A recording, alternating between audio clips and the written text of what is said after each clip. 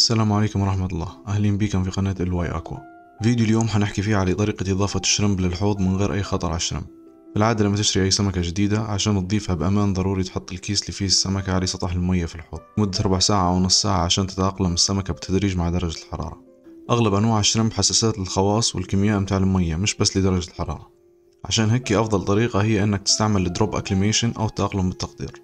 أنا جبت لونين من ال Neocaridina shrimp اللي هما اللون الأحمر المعروف بال cherry shrimp واللون الأصفر وحنوريكم كيف ضفتهم بالخطوة.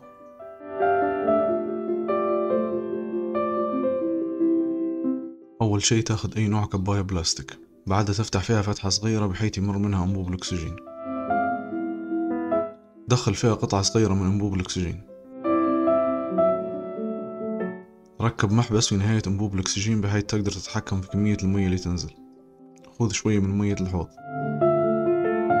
بعدها أفتح المحبس شوية بحيث ينزل قطرات بسيطة من المية.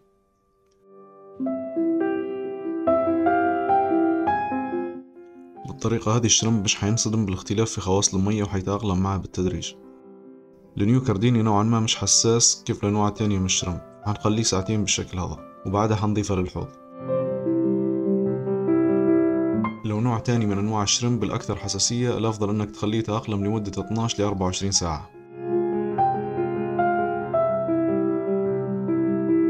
لو عجبكم الفيديو ما تنسوش تديروا لايك على الفيديو وتقدروا تكتبوا في التعليقات شنو الموضوع اللي تبوني نحكي عليه في الفيديو الجاي. وما تنسوش تشتركوا في القناة. شكرا على المتابعة.